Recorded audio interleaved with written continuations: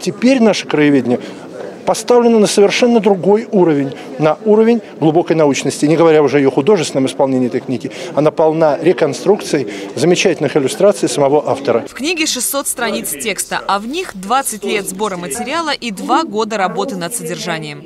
Я ее родил. Вот, она стоила невероятных, конечно, невероятное количество времени. Автор проштудировал все, что касается Орла в Российском архиве древних актов. Когда записям стало не хватать места в комнате, Неделин понял, надо писать и рисовать. Все иллюстрации он сделал сам. Хочется увидеть, как выглядит город в годы его рассвета. И ты начинаешь работать.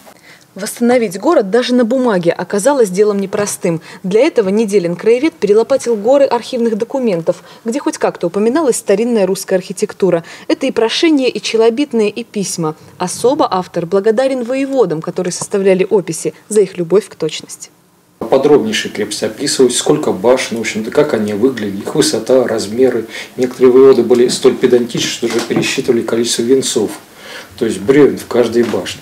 По собранной информации, Неделин архитектор заново спроектировал «Орел», а вместе с ним и Ливны, и Болхов, и Новосиль. А Неделин художник все нарисовал и отдал материалы своему другу, тоже художнику, Вячеславу Ромашову, редактору книги. Тот сначала был поражен весомостью проделанного труда.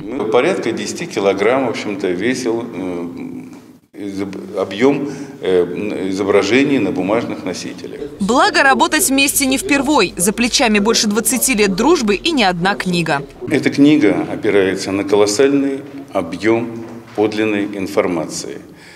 Список э, где-то порядка 20 страниц только библиографии.